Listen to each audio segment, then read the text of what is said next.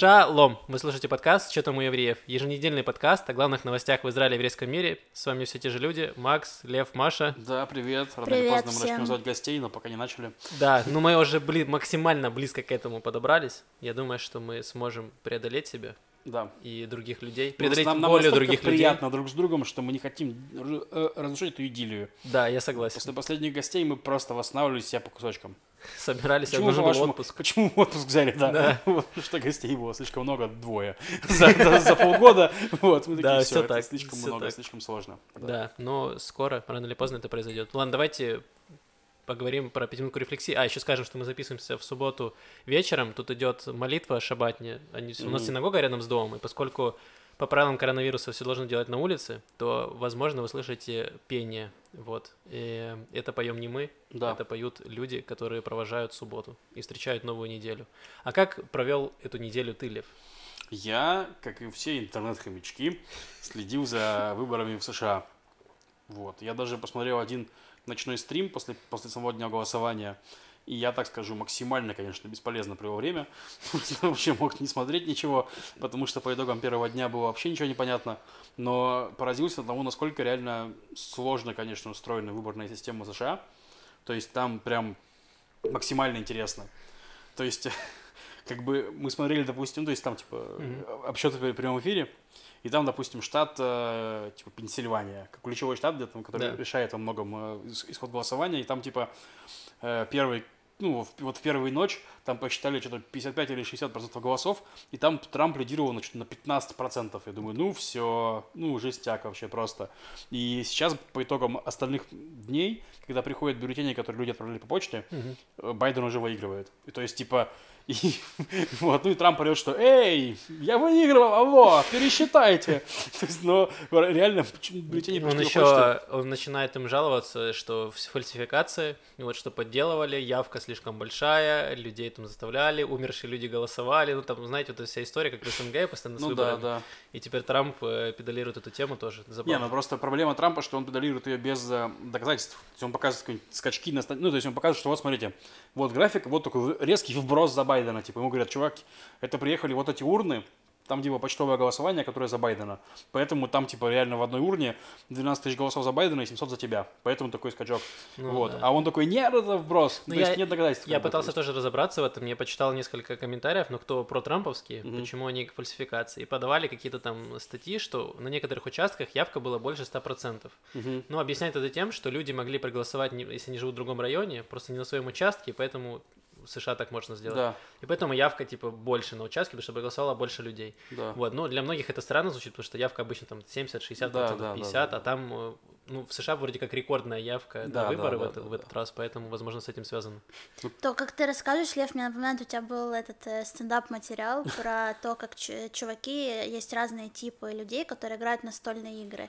И вот там есть тип чуваков, которые не умеют проигрывать. И там, например, если там это игра, где нужно кидать кости там или фишки, то они так, знаешь, Стол подрывают просто стол. Да я выигрывал! Это не че- Да. вот, ну, поведение Трампа примерно подходит под этот э, э, тип э, чуваков, которые не умеют проигрывать. проигрывает в Вроде монополию. Все на Ну да, столе, вот да. все, я уже Ну, там- лидировал. Ну, там, типа, да, там причем, ну, отличие от российских, допустим, да, там, фальсификации, то обычно есть видео, типа, карусели, да, типа, вот Да. там вот голосовали.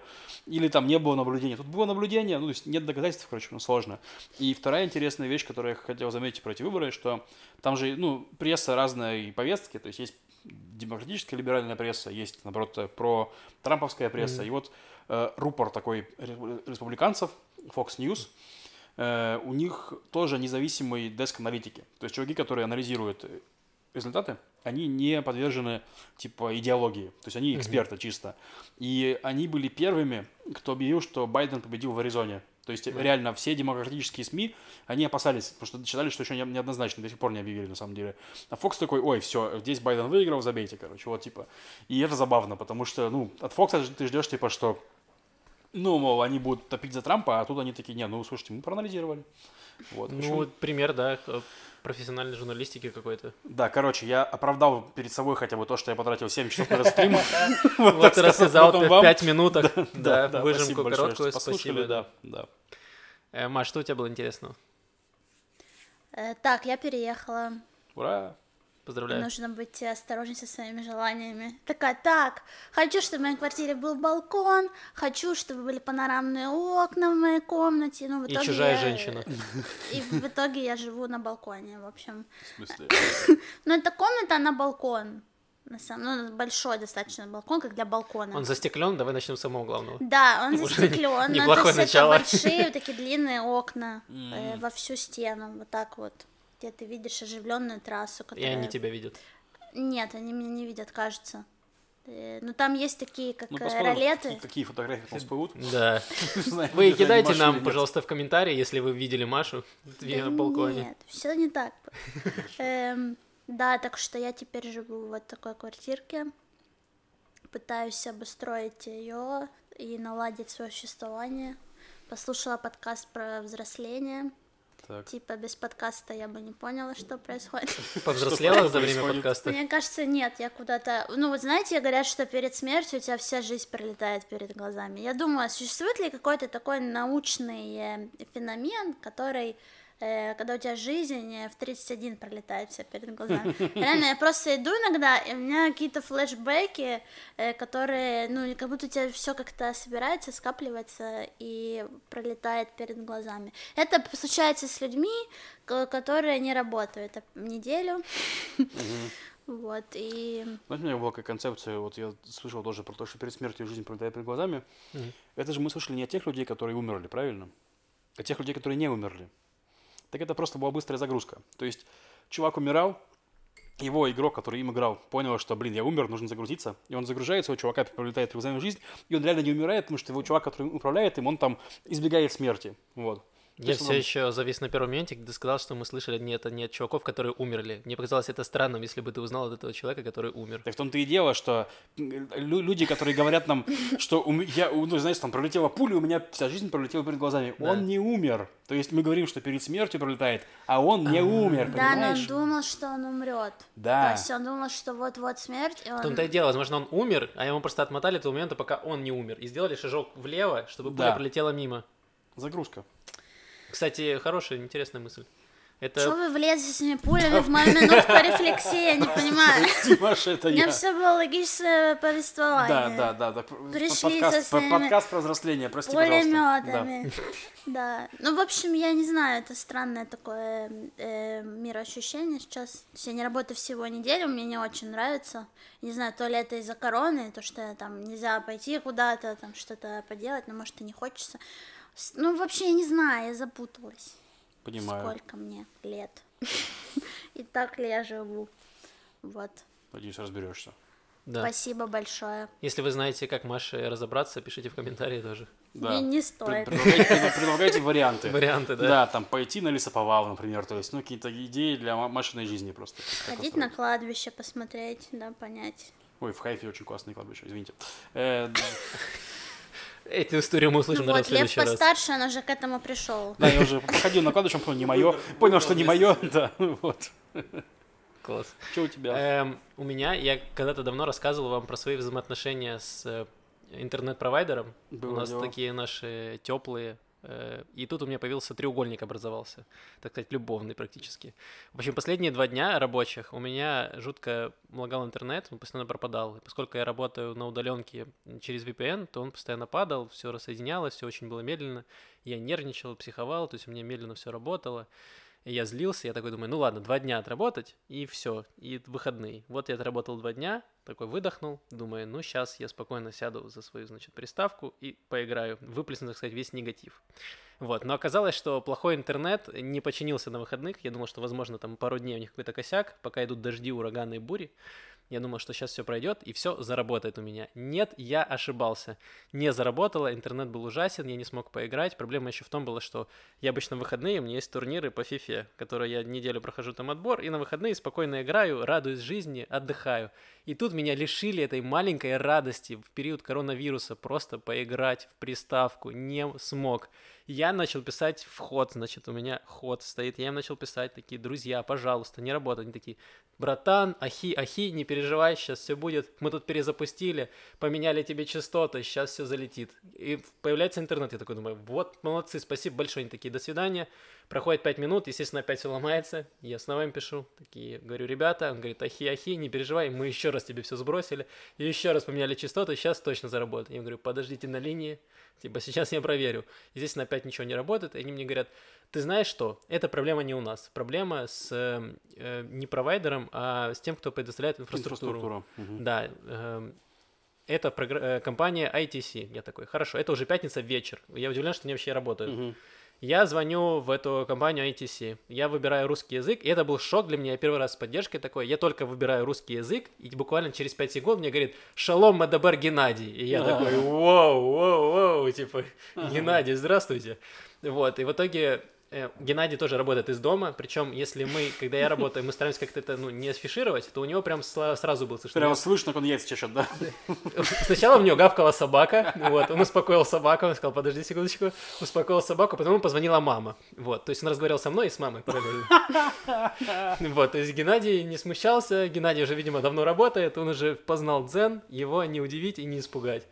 Вот, э, в итоге Геннадий такой говорит, во всем виноват ход, я говорю, нет, дружок, говорит, ход послал меня к тебе, я, типа, мне надоело, и я Давай, буду тебе- накорми собаку, поговори с мамой и почини мне интернет, Да, Геннадий. Геннадий, я найду тебя. Я по собаке тебя вычислю. Найду каждую собаку в и найду тебя. Ох, Э, нет. В итоге мы там начали проводить какие-то там испытания, он зашел ко мне через удаленный доступ, там начал ковыряться в компьютере, мы сделали какие-то тесты, он говорит, видишь, он мне начал объяснять цифры, тут пинг такой, тут такой, пакеты не доходят, тут пакеты получаем, пакеты не отправляем. Оказалось, что у меня скорость отдачи 0,09 мегабайта, 0,09. Мне кажется, я руками больше бы пакетов донес, чем мой интернет это делает. Вот, в итоге, ну, мне нет- интернета нет, я звоню опять в ход, говорю, ребята, вот такая-то ситуация. Они говорят, нет, виновата ATC. Я говорю, нет, они сказали, что виноваты вы. В итоге мы спорили где-то минут пять, она мне, мне оператор сказала проверить, какой у меня кабель интернетовский. То есть я, оказывается, узнал, что на кабелях еще печатают что-то. Он оказался E5 какой-то. Она говорит, короче, мы спорили с ней приблизительно час, я скидывал ей все скриншоты, которые у меня есть. Я все заскринил, я уже опытный работник, я работаю в поддержке, я знаю, что нужно скриншотить все, абсолютно все. Мгм. Я все заскриншотил, я скинул ей приблизительно 20 картинок, чтобы она охерела. И вот она в конце охерела, сдалась и сказала, что к вам придет техник, но он приедет уже после выходных, когда закончится мой турнир, и я не поиграю в свои игры, и все зря, и я в гневе. Вот. Ясно. Я послушал сейчас Машу, которая не может найти, что из жизни и Максиму, который живет тем, что всю неделю злится, а потом выпускает гнев на эфире. Я думаю, у меня все нормально. Я вчера играл 4 часа в Pokemon Go, и у меня все хорошо. Вы знаете, я, пожалуй, хорошо. Давайте перейдем к новостям. Да, отлично.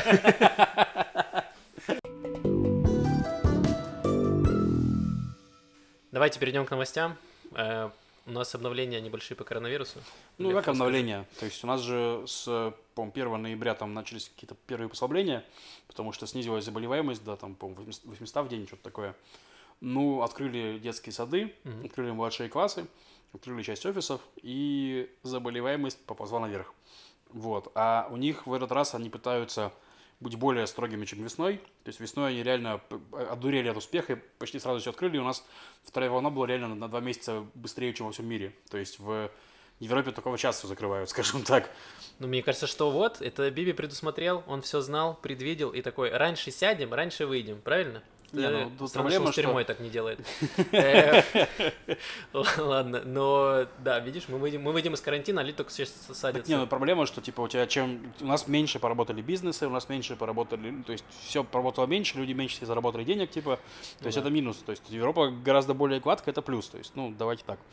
Серьезно, если. Вот. Э, И сейчас, соответственно, все борются за то, чтобы что-нибудь открыть новое, то есть магазины, торговые Мгм. центры и так далее, но Минздрав пока пытается сопротивляться, то есть чтобы не открывать.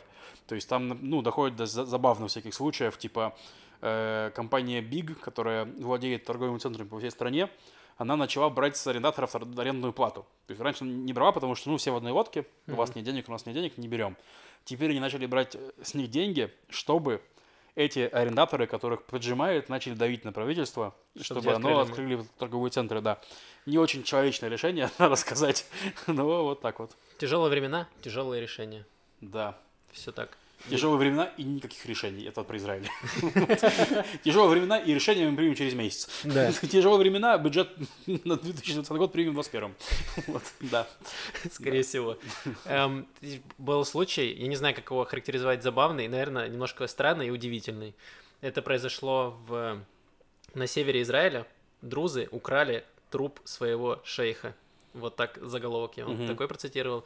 В общем, я не помню название этого... А вот сейчас мне Лев даст шпаргалку, и я вам скажу. Секундочку. Ну, там есть споры на тему, украли они его или не украли, потому что Позаимствовали. позаимствовали, уговорили отдать, угрожали оружием, им отдали добровольно, то есть там Да, непонятно. в общем, в прошлую пятницу э, сотни друзов из поселка называется Мад- э, Маджал Шамс. Это поселок на Голанах находится, он как раз был аннексирован вместе с Голанами, и там часть этих друзов, они вообще, друзы не очень...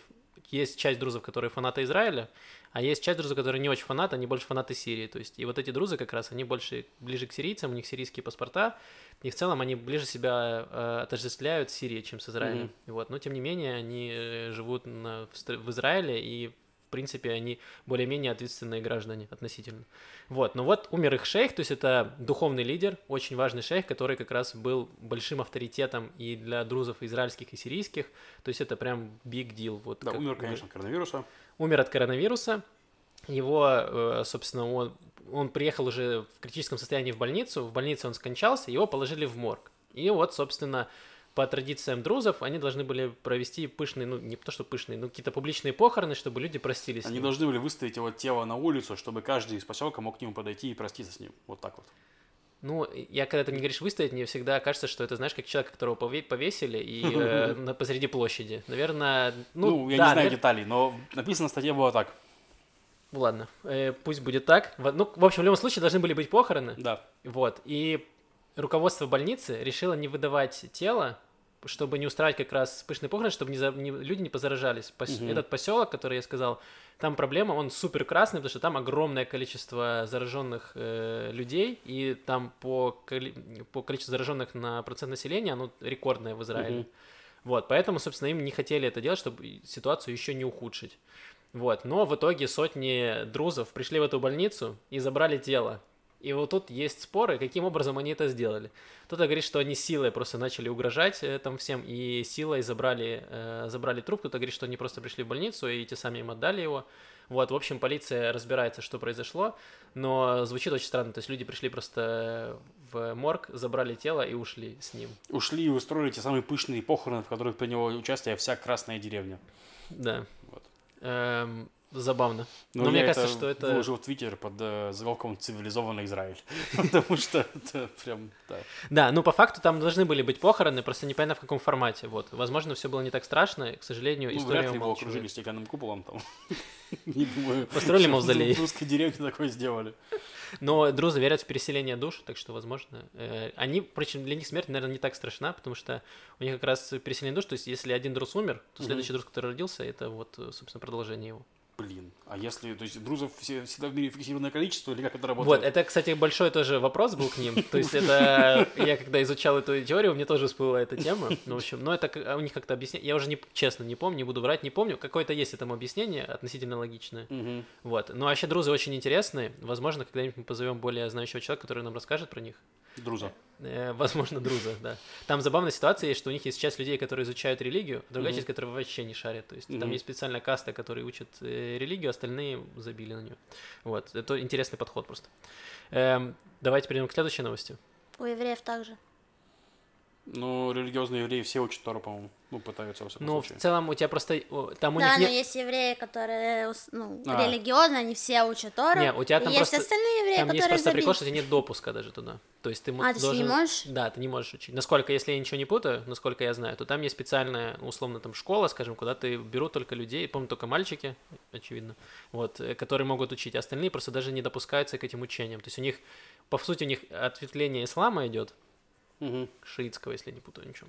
Вот, и э, у них там своеобразные, там свои какие-то приколы. То есть сами мусульмане не очень э, уважают друзов в плане того, что там религия отошла от канонов, от их.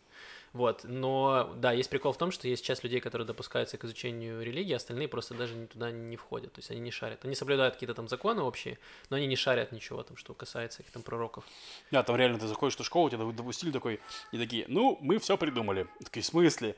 Об этом знаем только мы избранные, поэтому вот тебе Это- деньги, деньги всей общины, купи себе телевизор, купи себе клевое кресло. Просто это все придумано, мы придумали, что быть богатыми, а чтобы они работали на сдавленном деньги. Это почти как Хогвартс. То есть есть школа магии, а есть маглы, которые вообще не шарят, что происходит. Вот, они работают на своих скучных работах, там разные дантисты, врачи, а вот есть они, где они в своем Хогвартсе, все и выдумывают. делают волшебные леденцы. Офигенная работа, потрясающая И просто. едят шоколадных жаб, да. Все так.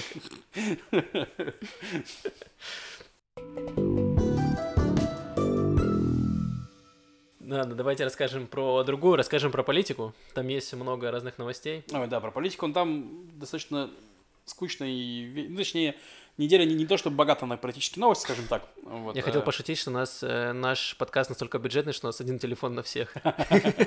Ладно, это связано с тем, что мы просто на два телефона снимаем, и у нас остается только один у Льва. Да, да. Э, ну, короче, во-первых, я хотел сказать про заявление Биби, которое он сделал вчера, по-моему, вечером на русском языке. У него есть русская страница в Фейсбуке, к сожалению. Ладно, это хорошо, но общайся с русскоязычными ну, людьми. Хорошо, что общается, вопрос как. Потому что в заявлении написано просто ахинея в том, что ну, наш соперник Иран, и это Иран устраивает протесты против э, Нетаньягу, значит, на улицах перед, на, перед- на резиденции Бальфур, на мостах. Это все иранцы. Это все иранцы, которые управляют леваками. И то есть какие, какие бы флаги не были в этих э, протестах, черные, розовые, желтые, это все иранцы. ЛГБТ, все иранцы. Все иранцы, да. И то есть, ну, я к тому, что это просто, конечно, для меня, я считаю, это ужасно, потому что, ну, у меня сразу фу- путинские флешбеки, где у тебя Обама насрал в подъезде, то есть где у тебя реально во- всей беде, как в любой беде, в которой не изображают происк США, то есть, да, типа, Навального отравили США, чтобы подставить Россию, то есть там реально вот так говорят власти, в смысле, да. Ну, не А США. кому это выгодно? Да. Сразу стоит Да, вопрос. да. И то есть меня, конечно, очень расстраивает, что в Израиле мы переходим к такой риторике. То есть, типа, когда они обвиняли во всем леваков, да, это хотя бы было похоже на идеологическое противостояние. Ну, то есть, если они говорят, что если не мы, то к власти придут левые, да, то, ну, Это окей. логично хотя бы. Ну, это и есть левая идея, есть правая идея, это правда. То есть, если правые проигрывают выборы, то люди- к власти приходят люди с более, более умеренной идеологией. Все логично, да? Ну, достаточно тупо, то, что они навешивают ярлыки, обзывают левыми не тех, кто левый, но ладно.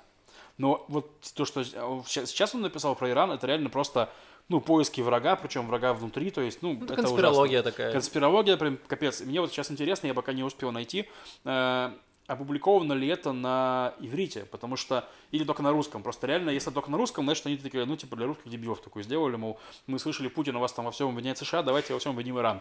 То есть, вот, как бы, ну, если так, то это еще хуже, потому что они Мне такие, ну, кажется, русские дебилы. Пар- Пару алимов наняли на работу, и они такие, так, как там в России у нас работает, давайте сделаем, забахаем такое же в Израиле. Ну да, или так, или политтехнологи, знаешь, там Россия сейчас экспортирует политтехнологов, там, в Белоруссию экспортирует, может, в Израиль тоже, не знаю. Вот, вторая новость, которую хотел сказать маленькая, это то, что э, у нас есть есть такой ликудник, глава коалиции Микки Зоар, Мы уже рассказывали про мы уже не рассказывали, он очень такой про Нетаньягу и очень жесткий. И против него сейчас идет расследование о шантаже. То есть потому что он заявил пару месяцев назад, я не помню, рассказывали мы в подкасте или нет, но у нас есть такой чувак Авихай Ман- Мандельблит, это юри- юридический советник правительства, который занимается вот юридическими, ну, советует правительству, что, что законно, что нет, и является адвокатом правительства на всех там судах и прочих, то есть, ну, вот его офис. И он же, собственно говоря, считает, что нужно расследовать дела против, против Нетаньягу. Не нужно их закрывать, нужно расследовать и так далее. То есть его за это очень сильно атакуют ликудники, что он типа враг государства, там тоже левак. И капец, хотя Мандалит это такой поселенец такой в кипе в черной, то есть, ну, вряд ли он левак, как минимум. Ну вот, и, короче, был слив про Мандельблита, в котором он негативно отзывался о генпрокуроре прошлом. Ну и там, в принципе, он выглядит не очень красиво. Ну, там нет, нет, нет такого, что он прям предательство какое-то, но, да, у нас орет кошка. Вот, персик. Она замолчи. тоже против Биби. Да, вот. И, короче, был слив, и Микки Зор заявил, чувак, Авихай Мандельблит, подай в отставку, или у нас будут такие сливы, что ты вообще закачаешься. Вот. Конечно, не очень умно было такое говорить адвокату, потому что против него началось расследование, он про шантаж сейчас это выясняется. То есть реально ли был шантаж, реально ли у них есть и сливы, то есть, ну, в общем, вот такая вот история. И последний раз, я тут обосрал Биби, обосрал Ликудников, давайте немного скажу про коалицию, что там происходит. Там тоже у них было заседание Кахулеван, это наша главная оппозиционная партия. Точнее, не, не- это партия в коалиции, но она откололась от оппозиции, там она вот, у них есть терки с Ликудом. И там была такая история, что типа Кахулеван на прошлой неделе, по-моему, объявил Ликуду э, ультиматум. Типа, или вы начинаете с нами сотрудничать нормально как люди, или мы откалываемся и ходим в оппозицию. Мгм. Вот. Время ультиматума прошло. Кахулеван пока в оппозицию не ушел, но у них было собрание, собрались лидеры и обсуждали, обсуждали, что делать дальше. И содержание этой беседы, разумеется, слили в прессу сразу же. вот. Это левые. Да, это, ну, правые тоже, там, знаешь, там, когда, короче, все, это, это израильская политика. Вот, э, Бенни Ганс настолько об- обиделся, что хотел вообще, типа, на этом, как его, на детекторе лжи проверить своих э, всех этих, с Кто кем слил- встречался, кто слил кто прессу? слил, да, типа, в прессу. Но там было сказано в, в сливе, там, ну, опять-таки, черт его знает, правда, неправда, опять-таки, сливы это Ну, раз Бенни. Ганс разлился, наверное, да. Ну, может, он тоже картинно разозлился, там, черт знает. Короче, ну там был такой конфликт, типа, что все его соратники говорят, что, чувак, нужно рвать с Ликудом, нужно идти в оппозицию, нужно продвигать закон, чтобы сменить Нетаньягу. А Бенни Ганс э, сказал, что нет, давайте еще немножко посотрудничаем. То есть, вот. Ну, то есть, в таком духе. Он, они... Он все еще надеется, что ему дадут порулить. Не-не-не, он там сказал, что я понимаю, что мне не дадут порулить, А. но давайте пока не будем, скажем так. Вот. И, ну, они должны принять решение в каком-то, по-моему, воскресенье, что ли, или в понедельник у них. А, когда станет понятно точно, кто президент США, Мгм. они решат, что им делать. Окей. Вот. Ну да, тоже важно, потому что мы знаем, что э, Трамп большой друг Биби, или Биби большой друг Трампа, тут можно по-друг- по-разному. Вот, и Байден пока еще непонятно, насколько... Ну, Байден тоже знаком с Биби, на самом деле. Ну, единственное, что у них были терки. Я читал там статью забавную, что Байден, когда в, ран- в ранге вице-президента приезжал в Израиль, э, о чем там договариваться, в этот же день там кабинет Биби подписал э, указ о том, что построить там 1500 единиц жилья в поселениях, типа, и Байден прям сказал, чуваки, это вообще не дружественный жест, я, тут- вы знаете позицию Барака Обамы, что он против поселений, я приезжаю к вам с визитом, значит, и в этот же день, типа, делаете такую фигню. Это отвратительно, вы тупые. Ну и там Биби там, это мой министр, он дебил. Ну ты дебил, чувак, ты дебил. Ну ты реально дебил, что ли? Байден приезжает. Премьер-министр, это же дебил». ваша подпись. Ну, кто это составлял? Да, да. Я что, все должен читать? Сколько бумаг я каждый день подписываю? Вот, так что не знаю, какие отношения интересны. Ну да, но в общем, в любом случае, да, я думаю, что если Байден станет президентом, а скорее всего он им станет, на 99%, то э, хороший шанс будет для Ганса заручиться поддержкой. Да, Наверное. да. Э, без виз с Америкой, как там вообще дела Так, а- обстоят? а С без- Трампом уже, вот мы прям уже на пороге были. Маш, хорошо, если у нас не отберут наши дарконы в связи с последними расследованиями, вот, так что я бы пока не рассчитывал на безвиз. И квартиры, да? Ну, квартиры у нас и нет, нечего отбирать, так сказать. Тещу, может, отберут. Может, у тебя тещу отберут, Маш, Теща, да. из твоей квартиры. Эм, ладно, давайте я продолжу историю про то, что я разговаривал на пятиминутке рефлексии, про интернет наш. Ой, только не продолжай про свои настройки чертового роутера, как там тебе звонил чувак из поддержки, елки-палки. Нет, нет, тут Хорошо. э, новость другая, Спасибо. но она очень удивительная. И до проблем моих с интернетом на этой неделе я просто всю неделю плакал над этой новостью. Ну, как Да. смеялся. Это было такие слезы отчаяния и, и радости частично. В общем, в чем суть? Компанию Безек обязали проверить на мертвых пользователей. То есть это пользователи, которые сменили провайдер, у них, допустим, у вас был Безек, вы решили, что теперь я перейду условно на ход, и все, и буду платить ход. Но часть пользователей не знают, что они до сих пор платят Безеку. То есть, возможно, не расторгли контракт, Да, они потому что от- отписаться от израильского провайдера любого, это просто мафия какая-то. То есть, типа, ну, у меня было так, что я, такая ситуация была, то есть, у меня был Безок, я перешел на ход, и потом мне приходит что-то от Безока, типа, что, я, я причем Безок позвонил, говорю, ну, чува- чуваки, все, типа, я не с вами, разрываем контракт, я вам не хочу платить, все, пожалуйста, перестаньте. Через два месяца мне приходит счет, типа, вот два месяца за, за Безок. Я такой, в смысле? Я им звоню, алло, я же звонил от меня, он такие, ничего не знаем, звонил, ну, и я, короче, в итоге пошел к ним, ну, в офис, типа, и разобрался, в итоге мне счет аннули- аннулировали и да- и так далее. И мой знакомый, наш знакомый вообще Тимур, Мгм. твой коллега, Да. будущий бывший коллега, вот, короче, извини, что я тебя перебил, просто Ничего, чтобы ничего. погрузить людей в контекст. Он рассказывал, что он работал в охране, ну, в канале, в телеграм-канале писал, это не то, что я личные беседы сливаю. Он в телеграм-канале писал, что он работал в охране, ну, не Безека, а партнера, ну, тоже провайдера там всякого. Да. И говорит, что у них основная работа была не пускать людей, которые, ну, в смысле в охране, которые пришли разрывать контракт, потому что они приходят злые, психованные, вот, и они... Как я, я был готов сжечь их офис. Ну, типа, да, вот, какие, как я, да. Вот он, на них работа не пускать их. И то есть, если только не совсем видно, что вот он сейчас прям ударит, вот тогда пускать. Вот, инструкции должностные. Предложите им транквилизатор, чтобы успокоить. Ну да, то есть, израильский бизнес не- немножко обман.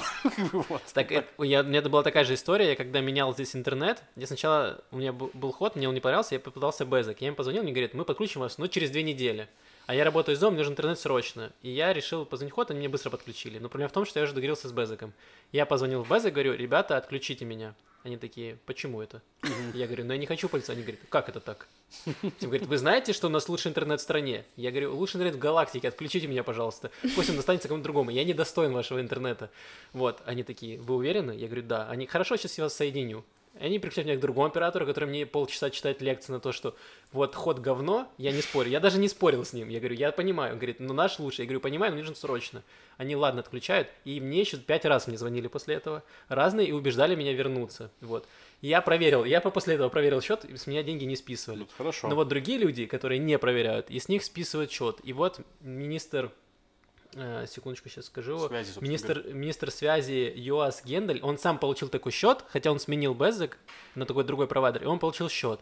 И он вдруг подумал, а если у меня такое происходит, а может быть и другие люди У тоже... миллионов израильтян Да, такое, такое- происходит. Давайте-ка мы проверим. И в итоге после проверки оказалось, что огромное количество людей подвержено этим, и они Безек э, обязали в одностороннем порядке аннулировать эти счета спящих, Ну, спящих не только пользователей. Безек, там всех провайдеров, но просто у Безек это было, видимо, в... А, под- ударила по ним Ну. очень сильно, и их компания подешевела в два раза. В два раза подешевела компания после этого. Это нормально вообще? Как это? Да. Ну, то есть, когда стало понятно, что старая схема обмана не работает, перспективы компании стали туманные Два вообще. раза. Да. То есть это, можете подумать себе, это компания, которая просто брала деньги у людей, которых она не должна была брать, и их заставили больше не брать деньги. Я не уверен, что они будут возвращать эти деньги, которые они взяли. Скорее Не, всего, я думаю, нет. что- я думаю, что перестанут брать, и люди такие уже в- такие, о, ничего себе. И, и наш кризис, я уверен, закончится в стране. Такие, у людей нет денег, такие, и деньги появились. Причем Бюджет сразу. Да, причем таких, я пообщался со своими знакомыми, много, то есть люди, которые, допустим, ходили в тренажерные залы, оформляли абонемент. У меня подруга есть, которая оформила абонемент, и она не ходит в спортивный зал, потому что он закрылся из-за коронавируса, а деньги с нее списывают. И она не может от- отменить подписку, потому что спортзал закрылся. Мгм. То есть его не существует, но деньги не списывают. Вот, тоже удивительная история. Вот, Хм. я уверен, что таких историй очень много. Вот, еще коротень- коро- коротенькая забавная новость про наших э, друзей из Ирана.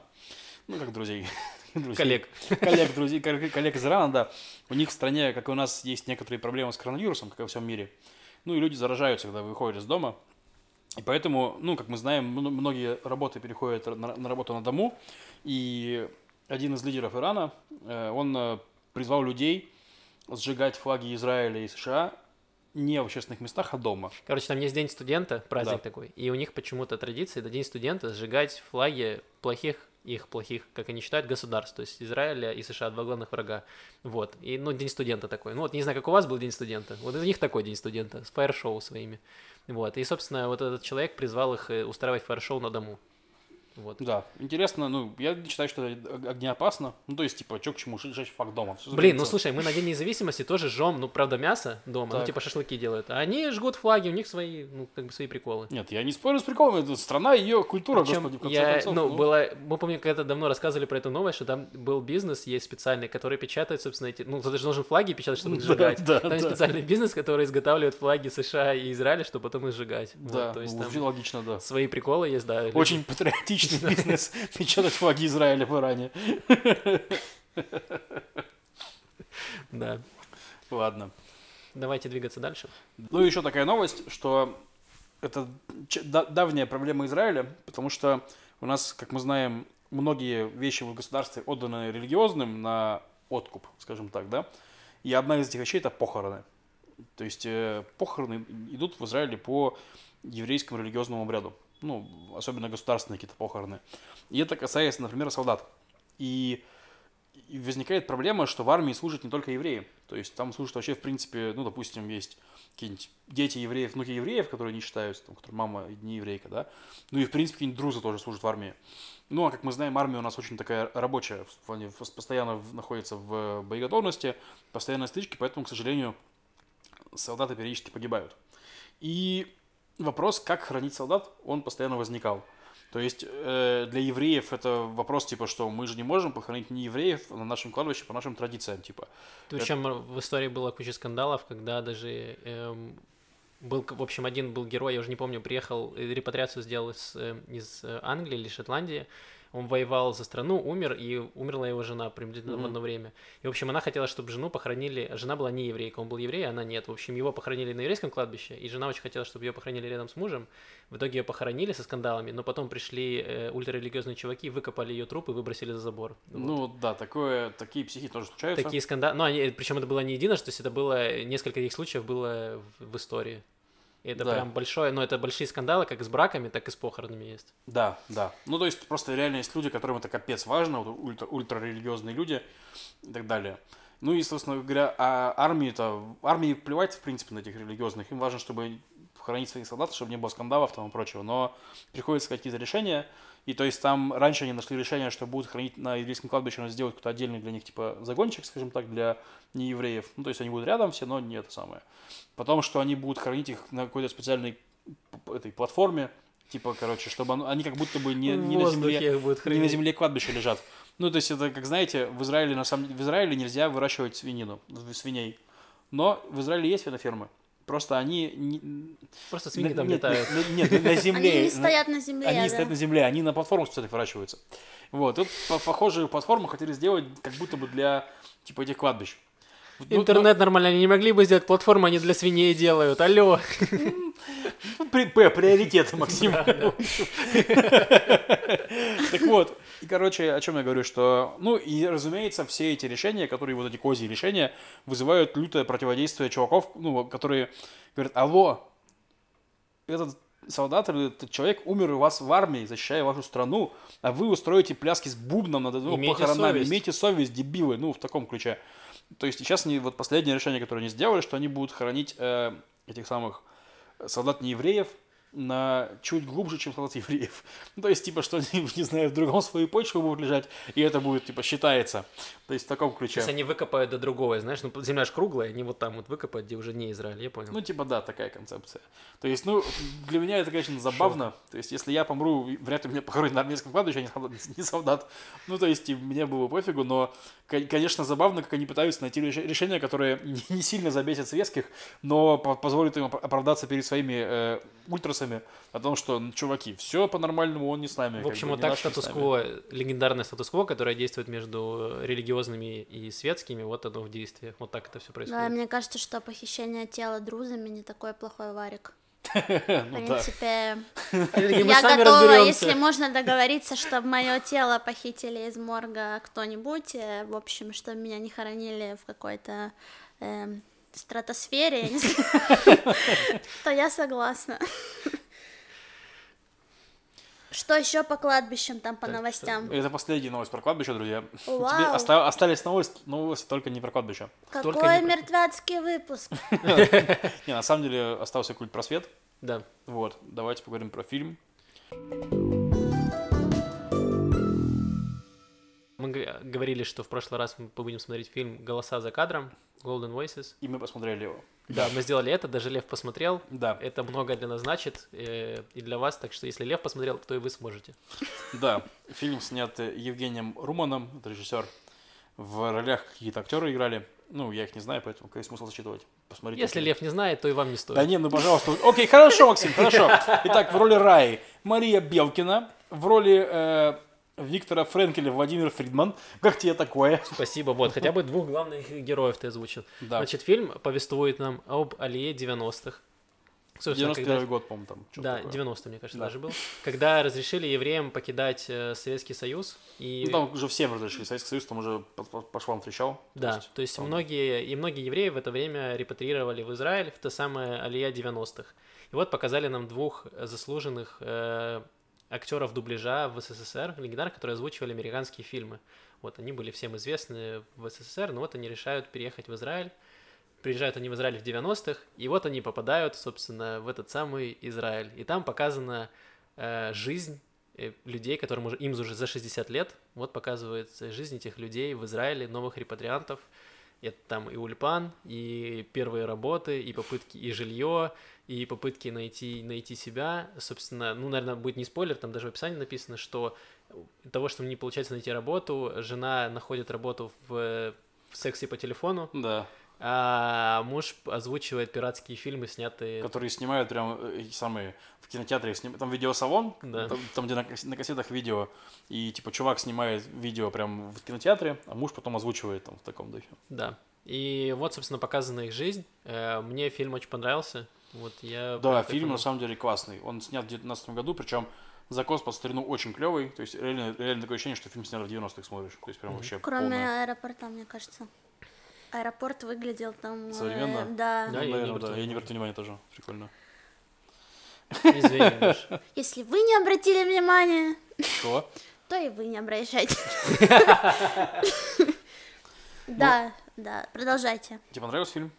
Да, мне понравился фильм, потому что, ну, хотя мне кажется, что чувствуется, что снимал, э, ну, русский человек, то есть не, не израильтянин, то есть акценты прям расставлены на такие вещи достаточно очевидные, я думаю, но ценность этого фильма в том, что приезжают люди элегантного возраста, то есть не про молодежь, Ну, Золотого. по 60 там что-то такое, да. да, и то, что ты делаешь сразу отсылку там, ну, к своим родителям, как я думала, вот, собственно, почему я думаю, что мои родители и не хотят переезжать, и вот у них такая, их такая идея не посещает, в общем, так как это правда, ну, это огромный переворот такой э, жизни, то есть и единственное, что классно, то, что есть два человека, то есть они есть друг у друга, в принципе, это и есть этот э, шлюпка спасательная, которая их э, держит вместе, э, но тем не менее это очень тяжело по всем пунктам,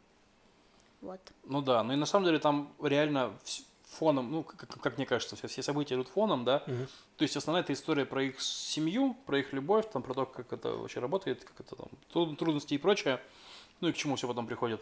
Вот. э, Мне очень понравился фильм, очень смешной, то есть Да, там образы, образы отличные, актеры играют просто очень хорошо, и прям реально чуть ли не все там актеры мне прям очень понравились. Причем вот героиня Белковая фамилия, кажется, она реально актер дубляжа, то есть и прям очень кайфово, где она как раз показывает, меняет типа, голоса, где она меняет голоса. ой, вообще, да, Кайф. дико реально кайф. кайфово, да. Я бы тоже хотела Мы как, работу. как, как ведущие подкастов мы э, оценили, очень хотелось бы тоже уметь так работать со своим голосом. Да, да.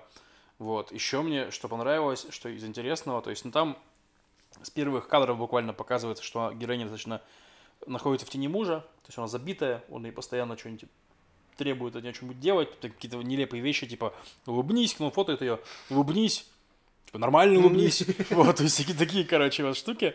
И, ну и потом она, естественно, приходит к тому, что хочет больше для себя жить. То есть для нее этот переезд вот так- такой сделал э, Новый шаг в то это есть, был, Да, но и просто, ну, это такая сейчас современная фе- феминистическая повестка, да, типа, что женщина не должна жить и мужчины, да, вот, и эта повестка, она тебя там не бьет по лицу, то есть ты посмотрел хороший фильм с хорошей идеей, с хорошим сильным женским образом, и тебе, и тебе, и ты не, не, счит- не считываешь это, этого до конца.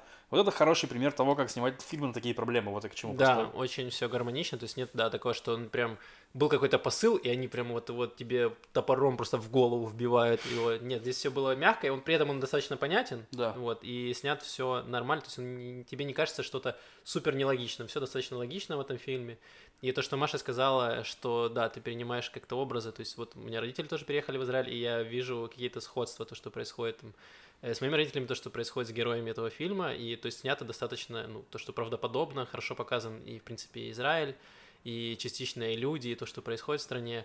Эм, то есть мне фильм прям очень понравился, я думал, что он будет, ну, я и ожидал худшего, худшего, то есть, будем сказать так, я думал, что фильм будет такой себе, но фильм прям очень классный, и не зря он сейчас достаточно, ну, достаточно популярен, то есть он есть, его купила даже цифровая платформа, по-моему, на Иви его можно посмотреть Мгм, за да, деньги. да. Вот, э, он есть и в других разных доступах. То есть это ну, показатель того, что фильм пользуется какой-то популярностью, то есть он достаточно качественный, что даже вот цифровые платформы готовы его покупать и транслировать за деньги. Да, и еще хотел сказать, что эм, там нету... Ну, то есть, что нам рассказывают часто? Во-первых, про родителей. Там, собственно, в конце и написано, в конце фильма, в титрах, типа, посвящается нашим родителям или спасибо нашим родителям, что-то такое. То есть, ну, режиссер молодой явно, то есть, это не он, не про себя пишет, он про родителей, Да. про родителей своих. Вот, про их поколение. Но, короче, нету там обиды на Израиль в этом фильме. Вообще нету. То есть, часто от людей, которые вот приехали в то время, слышится прям обида на Израиль, что, ну, и что здесь было тяжело, что был расизм, что их ненавидели. Ну, они вот это жрали говно, что Ну, называется. ну, не, ну, они жрали говно, их этим говном кормили, то есть, ну, все, все это, да, типа. Но в фильме этого нету. То есть нет обиды на Израиль. Есть сложности, конечно, что, типа, мы приехали в страну, и тут нет для нас работы. Но это связано, ну, скорее, типа, с, ну, типа, просто вот так, так есть, короче, нет работы, я пойду работать почтальоном там, ну, то есть не, будет, ну, короче, вот. И это тоже прикольно, что не было Да, это, кстати, посыла. я об этом не задумался, да, это правда, потому что очень часто, э, в- даже в разговорах мы слышим, да, обидно, что на Израиль, вот мы приехали, евреи, вы нас зовете, мы приехали, и что дальше? Вот государство там не помогает нам найти хорошую работу, не помогает нам квалифи- ну, устроиться, куда мы хотим. Здесь в этого фильме как раз нет, и удивительно, да, я тоже немножко удивился, но Да, приятно. но актеры дубляжа в Израиле это самоубийство, как бы. Они, они не программисты, давайте Это по-честному. правда. И плюс, но еще как бы заход, э, единственное, что такое мне показалось э, таким моментом э, эм, острым, то что когда они-то уехали все по тем же причинам, они говорят, что вот мы там работали, работали, а потом нас стали прижимать Мгм. в России, и поэтому мы приехали в Израиль, так как мы всегда знали, кто мы. Вот, и вот эта фраза, она тоже такая, по-разному ее можно трактовать. То есть, что им об этом напоминали, кто они, ну, что А. типа было какое-то, знаете, там, что там евреи, не ну, такие, можно по-разному ее считывать, вот этот посыл. Ну да, да. Тоже такая, вот в, в этом моменте так задумалась. Но для меня, что он все-таки про обиду про Израиль, я не знаю. Я, ну, Ты ее видела? Ну, там много печальки. То есть, что ты не можешь, ты... ты- ты- Главный посыл, что ты по-любому не будешь, кем ты был. То есть, Да, если ты считаешь, у иммиграцию. тебя... Да, но то вот... то- Но как бы у меня обида, что у тебя есть какой-то талант, да, и вот если в этом контексте рассматривать, ты в эмиграции в Израиле ты не сможешь этот талант свой применить. Ну вот я, я, я смотри, я не считал здесь именно проблема в Израиле. То есть то, что люди меняются от, от эмиграции, и рушатся семьи, и возникают проблемы, там, ну и прочее, да, это то, что в фильме есть. Но нет такого, что там вот чертов из- Израиль, там израильтяне не показаны какими-то там ужасными расистами или каким-то плохим, наоборот, есть очень позитивный образ израильтян, то есть тот же там директор кинотеатра, там очень такой, типа, вполне, ну, хороший, вот. Да даже эта женщина, которая секс по телефону руководит, тоже достаточно такая позитивная. Да, да, ну, то есть, типа, Не, ну да, в целом там хорошие израильтяне. вот, Но даже ни рекомендуем. одного антигероя нет, что, в общем, странно. Да. Ну, так, потому что история такая жизненная очень, на самом деле. Вообще без... Она реально, вот, кстати, реально очень жизненная история. Вообще без... Не наигранная совершенно. Могу себе представить, что так и было с кем-нибудь. То есть, ну, ладно, есть, конечно, всякие наигранные штуки, типа, ну, Ну да. ру- ружья, которые должны были выстрелить и так далее. Не будем... Да, там, да, там понятно некоторые моменты, но тем не менее, да, очень фильм очень хорошо смотрится, поэтому я вот крайне рекомендую всем Да, посмотреть. плюс один. А согласен. что, фильмы, где в Израиле талант кому-то нужен? Эм, Ну вот, пойди да сними, Маш. давай попробуем в следующем фильме найти про талант, который нужен. Какой фильм будешь смотреть, Маш? Ну, вы, же там... э, Ну, выбрала же ты. ну, было два. Один Шнурки и один, в- Не, мы который... решили- Дани- А, Данил, Даниэля Сыркина, Да. Да, Э, фильм фильм Даниэля Вне поля зрения. Не Да. 2006. 2006 год, вне поля зрения. да, вот его мы посмотрим. Да, последний фильм выбирает Маша, и отличные фильмы. Вот, так что мы доверяем ее вкусу, продолжаем Мгм. смотреть.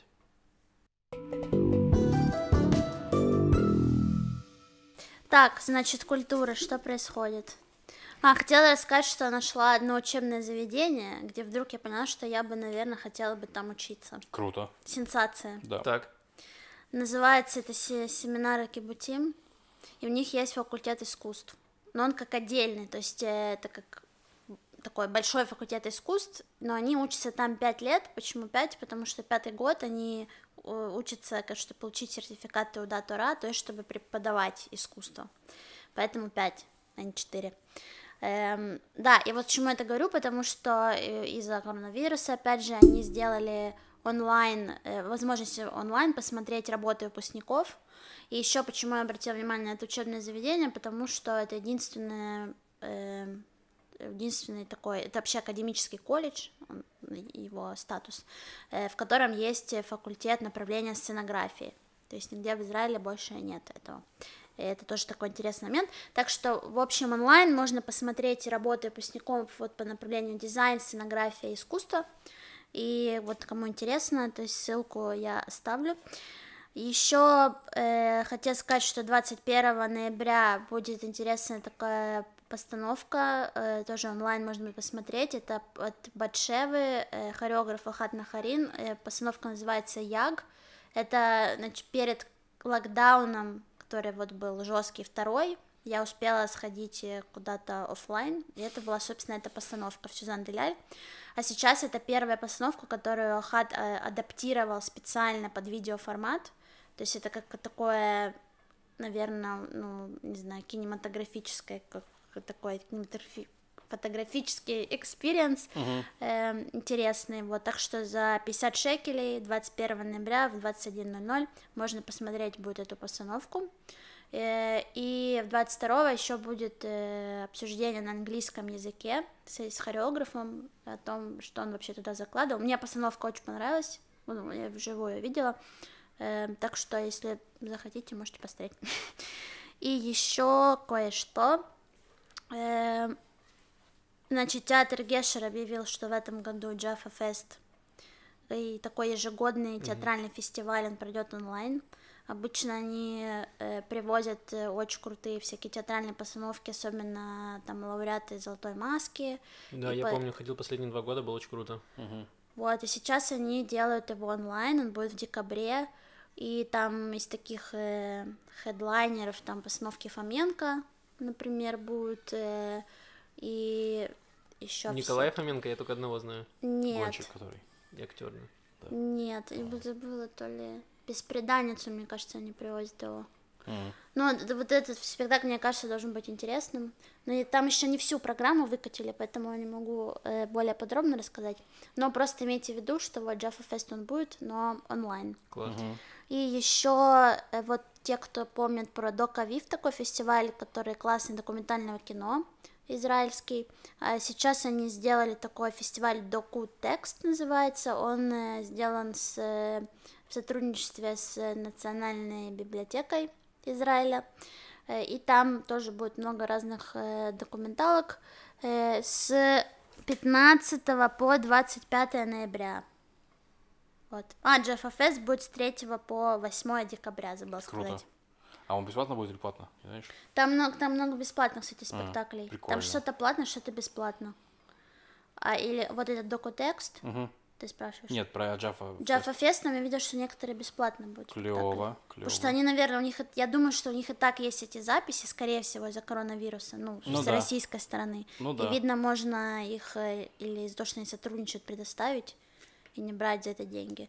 Не знаю. Так нет, то есть, подожди, будет запись или будет прямой эфир все-таки интересно? Мне кажется, будут записи. А, ну это, ну, это менее думаю. интересно, то тоже прикольно, конечно. Ну, типа, чуть меньше, чуть меньше чувства театра будет, ну, еще, еще меньше. И так, и так его не будет, если ты сидишь перед монитором дома, но... Да, потому что клёво. смысл-то, что Jaffa Fest, они же сюда привозили Да, эти трупы. да, То да. есть я так думаю, что там уже есть эти записи. Но это так, это мои догадки. Мгм. Там Не, они ну, не, не пишут. Это Ок, интересно, много чего, много всякого. Да? Сразу видно, Маша не работает, собирала все, всю неделю. Да нет, я всегда так выкатываю столько. Не- Маша готовится, Лев. Маша готовится к подкасту. Что за- Ну, Нет у меня своей рубрики, нету, ну что. Просто мы немножко булим Льва. есть и стебешь нас, это твоя рубрика. Ну да. Она Теперь мы тоже на подкаст посягаем. тянется. Спасибо всем, давайте скажем большое спасибо всем нашим патронам, их число растет. Вот, огромное спасибо вам за поддержку. Огромное спасибо. Спасибо, патроны Вот, э, и не воп- патроны. Да, вопросов особо не было. Был один комментарий на Ютубе, забавный, я его процитирую. Слушала вас в подкасте, потому что дочь собиралась свалить по программе в Израиль. Разные программы, надеюсь, не по судебной. Э, рассказала ей, она тоже теперь слушает и смотрит. От детей фиг что узнаешь, одна надежда на вас. Ну, собственно, Спасибо огромное, что рассказали дочери. Вот, и вообще там были комментарии, типа, самый не- недооцененный подкаст э, вообще из подкастов. спасибо очень Мы согласны, пожалуйста. Оцените нас на разных платформах, поставьте оценочку, реально помогает продвигаться. И расскажите друзьям, тоже очень помогает, потому что подкасты, ну, вот так вот медленно, наверное, мы забираем, зарабатываем себе аудиторию. Да, и в Да, общем, хотим премию «Лучший подкаст». слушай недооцененный подкаст. Зрительских симпатий. Вот. Подкаст, Да, точно. точно, Это точно. лучшая премия. Да. Где ее получить? Ну, нужно нравиться людям, Маш. Надо с Байденом поговорить. Отлично, Он должен его сделать. Но он должен подкаста. начать с подкастов, я считаю, свою Да. карьеру. Хорошо. Согласен. Так, давайте я дочитаю 74, комментарий. Э, да. Вчера наследница вышла в Тель-Авив с карантина. Я слушаю вас с удвоенным вниманием. будет возможность, передайте Маше привет, э, моей Маше и вашей тоже. Вот, Маш, вот. привет тебе и вашей Маше тоже привет. Да. Спасибо, что слушаешь, и это, в общем, Удачи в, э, в- с переездом вот, Да. в новой стране. Э, Спасибо всем большое вот за поддержку, за приятные комментарии. Просто мед, мед. На уши, на Хотел сказать на глаза. уши, но мы же смотрим на глаза, да, на лицо. просто. глазами. Мед на лицо. Вот. Э, спасибо, очень приятно читать, мотивирует продолжать, вот стараться. Мы будем делать наш подкаст лучше, будем звать интересных гостей. У нас есть куча планов, вот, не все, на все хватает времени и, к сожалению, возможностей, особенно с коронавирусом. Да, есть вот, такое. но мы будем стараться, все получится, рано или поздно. Или нет. Аминь. Да. Так, давайте расскажу вам про музыку. Я сделал э, опасный для жизни трюк, вот, который никому не рекомендую. Я зашел в Spotify э, в чарты, вот, в чарты Израиля. Обычно это все заканчивается очень плохо, начинает кровь идти из ушей, вот, потому что ADBT приблизительно с 1 до 50 пункта, вот такие группы, ну, то есть вот такая музыка. Ну, тут я решил еще раз, то есть э, посмотреть, вдруг что-то поменялось. И я ткнул на самый первый же, первый же трек, и мне понравилось. То есть это было неплохо. Исполнителя зовут э, Равив Канер. Изначально это вообще барабанщик был, который пошел в э, поп-музыкант, и он участвовал в программе, которая называется Акохафа Абали Евровижн, то есть э, следующая звезда Евровидения. Я не уверен, если считается это отбором на Евровидение, возможно. То есть и он там участвовал в этом конкурсе, он далеко достаточно прошел.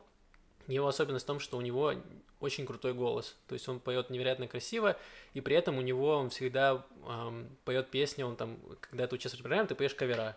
Вот, и он брал интересные песни, он пел Queen, он пел э, Feels Good, то есть он разные брал треки, не какие-то попсовые, а такие что-то с живой музыкой, то есть у него играли там живые музыканты. Вот, это одно из таких особенностей по музыке, что она у него под живую, все с живой музыкой, с гитарами, с барабанами, то есть вполне в России бы назвали вот это классический русский рок. Мгм. Вот, в, на нашем радио он бы где-то там укрутился 100%. Вот, его выпустил свой, он только начал свою сольную карьеру, выпустил первый сингл, который называется «Расисим», это «Осколки».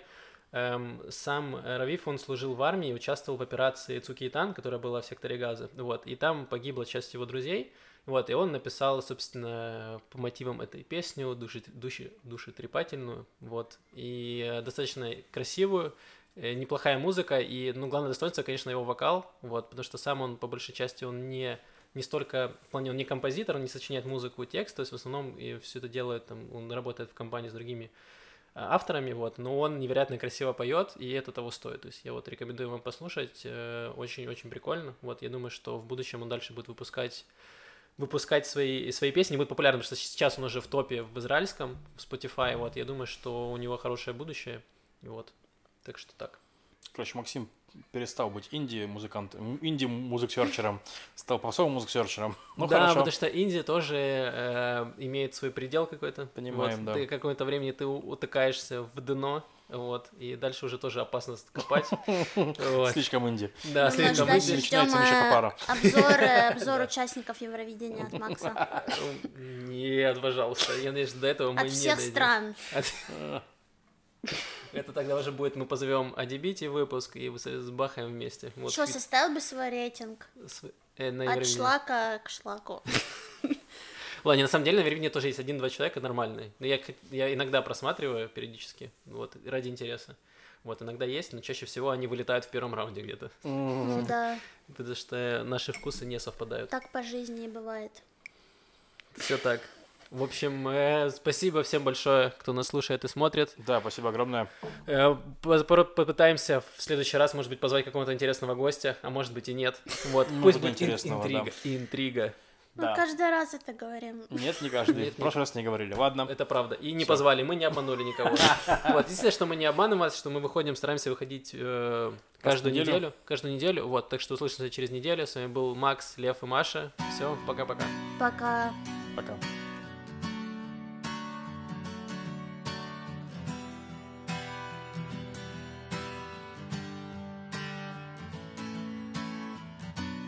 רואים בעיניים, רק קופצים לאש.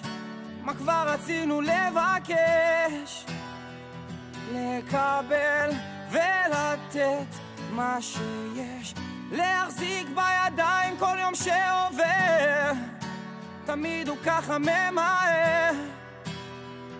אני איש מאחר, רק בלילות עולים קולות, שאלות אבודות מחפשות תשובה, מה שעוד לא בא. רסיסים, למה זיכרונות נמסים? כמה שאני לא כיסיתי זה נכנס לי בתריסים אין על מי לשים את הראש גם אם לא שברתי שילמתי לך תמצא על מי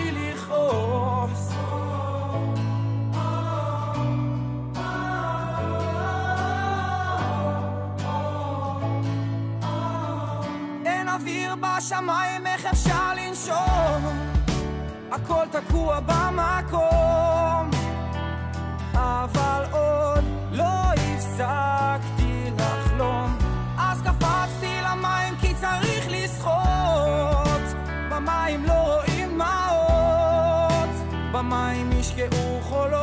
שזוכרים רק בלילות עולים קולות ושאלות אבודות מחפשות תשובה בקרוב. זה